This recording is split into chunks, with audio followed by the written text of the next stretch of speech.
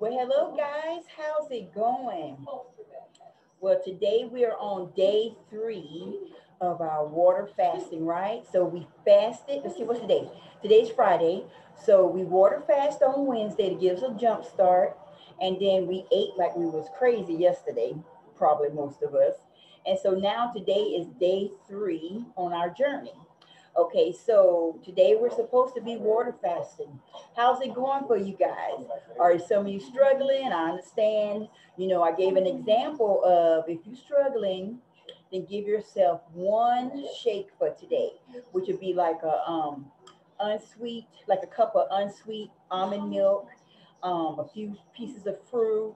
You could blend that and put a lot of ice. That will take up the emptiness because we know that it is the mental state of the mind that makes us want to eat, right? I got my water. And even though I've been drinking my water, um, just get ready to drink it. It's like if you feel hungry, because a lot of one of the um, hungers that we have is the thirst hunger. So that could be something that you're feeling, right?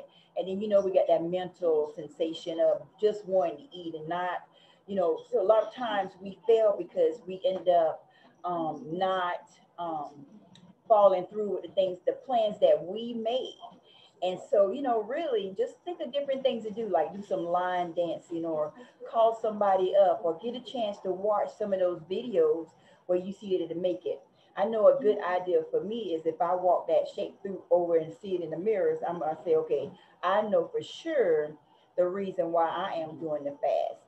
So this really is going to build us up. I got to look at the calendar and see when the first of December going to be. But can you imagine once December, the end of December, which ends in what 31 days in the month, how many days that be that you actually water fast? You know, I'm going to show you guys one of nutritional drinks that we can make. We call it the Angigizer. And you know, my name's Andrew. So I was in this group. Um, we did like a 90 day challenge and I could not pronounce Aquigizer for to kill me. And so then my, one of my friends that was in the 90 day challenge, she said, we're gonna call it Angigizer. So I'm show you guys how to make an Angigizer.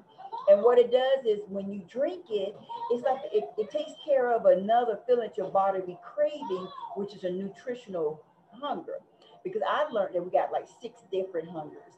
And then I was learn how to eat by the seasons, you know, and it wasn't no diet. You ate as much as you wanted but you ate certain types of food together. So anyway, I'm gonna show you guys that what I learned, which is um, which I did lose 42 pounds in that group. But now I'm just need to kick it up a notch because um, the water fasting to me is really the key. So I think if we work together, we can really do it. Okay, you guys, y'all have a great rest of the day and let's do it. Go team, what we call our team, over it. Go team over it. All right. I hope everybody's doing well. Let's keep posting. Let's keep helping each other. All right. Talk to you later. Bye.